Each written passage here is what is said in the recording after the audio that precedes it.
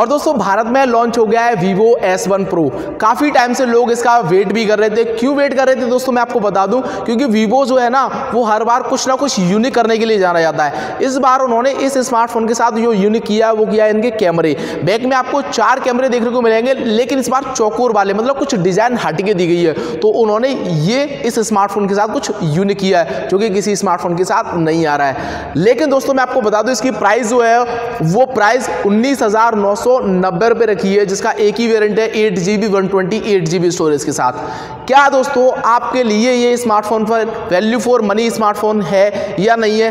क्या आपको दोस्तों ये स्मार्टफ़ोन इस टाइम पर खरीदना चाहिए या नहीं खरीदना चाहिए? सारे डाउट्स दोस्तों मैं आपके इस वीडियो में क्लियर करने वाला हूँ। वीडियो लास्ट तक ज़रूर से देखते रहिए। नमस्कार दोस्तों, मैं शिवम चौहान, एक बार आपका फिर से बहुत बहुत स्वागत करता हूँ हमारे वास्तविक टेक चैनल पे। जब फ्रेंड सबसे पहले मैं बात करूँगा यहाँ पे Vivo S1 Pro के डिज़ाइन डिस्प्ले और बिल्ड क्वालिटी की। तो नो डाउट डिज़ाइन काफ़ी ज़्यादा अच्छी देखने को मिल रही है। आपको इसमें बैक में चार कैमरे वो भी चौकुर वाले दिखने को काफ़ी ज़्यादा अच्छे लगते हैं। बात करें दोस्तों यहाँ पे इसकी बिल्ड क्वालिटी तो इसमें आपको पॉलीकार्बोनेट की बॉडी देखने को मिल जाती है। इतनी प्राइस में कम से कम ग्लास की बॉडी तो आनी ही चाहिए थी। और हाँ बात करें दोस्तों इसकी डिस्प्ले की तो सिक्स इंच की सुपर एमुलेट डिस्प्ले देखने को मिल जाती है। इन डिस्प्ले फिंगरप्रिंट सेंसर देखने को मिल रहा है तो डिस्प्ले काफ़ी ज़्यादा अच्छी आपको देखने को मिल जाती है। और हाँ दोस्तों, ये स्मार्टफ़ोन एक ही वेरिएंट में लॉन्च किया गया है। Eight GB one twenty eight GB storage के साथ आ रहा है, जिसकी कीमत उन्नीस हज़ार नौ सौ नब्बे रुपए रखी है। इस स्मार्टफ़ोन को आप अमेजोन फ्लिपकार्ट या ऑफलाइन से भी परचेज कर सकते हैं। लेकिन परचेज करने से पहले इस वीडियो को अंत तक देखें, उसके बाद परचेज कर सकते हैं। अब बात करें दोस्तों, यहाँ पे इसकी बैटरी के बारे में तो इसमें आपको पैंतालीस सौ की बैटरी देखने को मिल जाएगी। टाइप सी पोर्ट के साथ आएगा 3.5 mm ऑडियो जैक भी देखने को मिल जाएगा।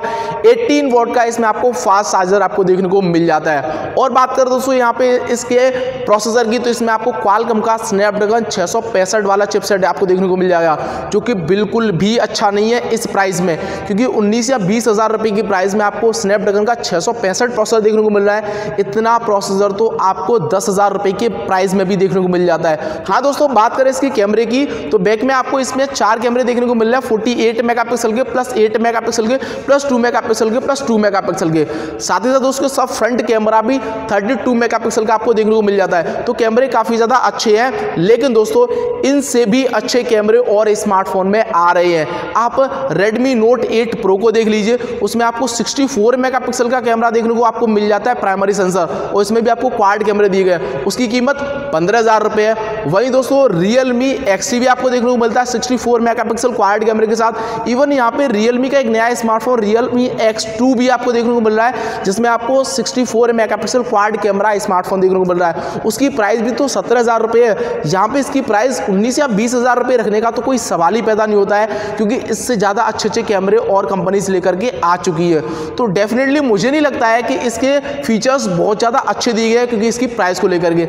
अगर ये स्मार्टफ़ोन बारह या तेरह हज़ार की प्राइस में लॉन्च होता तो डेफिनेटली लोग इसको कंसिडर करते, खरीदते भी। लेकिन उन्नीस या बीस हज़ार प्राइस बहुत ज़्यादा हो जाती है, वो भी स्नैपड्रैगन छः के साथ। मैं दोस्तों आपको बिल्कुल भी रिकमेंड नहीं करूँगा इस स्मार्टफ़ोन के लिए। और हाँ दोस्तों, इस वीडियो को ज़्यादा से ज़्यादा आप लोगों के साथ शेयर करें, ताकि कुछ लोग ऐसे भी हैं, जो इस स्मार्टफ़ोन को खरीदने वाले होंगे तो उनको क्लियर तरीके से पता चल जाए कि इस स्मार्टफ़ोन से भी अच्छे स्मार्टफ़ोन मार्केट में अवेलेबल है। इवन यहाँ पे अगर आप वीवो के ही फ़ैन है तो वीवो का जीवन प्रो एक्स ले लीजिए, उसमें आपको सोलह सत्रह हज़ार रुपये में इससे ज़्यादा अच्छे अच्छे फीचर्स आपको देखने को मिल जाते हैं। वैसे आपका क्या ख्याल है इस स्मार्टफ़ोन को लेकर के, हमें कमेंट सेक्शन में ज़रूर से बता दीजिए। और दोस्तों, आपको ये वीडियो पसंद आई हो तो वीडियो को लाइक कर देना चैनल पे पहली बार आए हैं, सब्सक्राइब नहीं किया तो सब्सक्राइब करके बेल वाले आइकन को प्रेस करना और हाँ ऑल पे क्लिक करना ताकि मेरे सब वीडियो को नोटिफिकेशन आपको 100 परसेंट मिलती रहे। और हाँ दोस्तों वीवो का एस वन प्रो आप बिल्कुल भी मत खरीदना। मैं मिलूँगा आपको नए इंटरेस्टिंग वीडियो के साथ, तब तक के लिए गुड बाय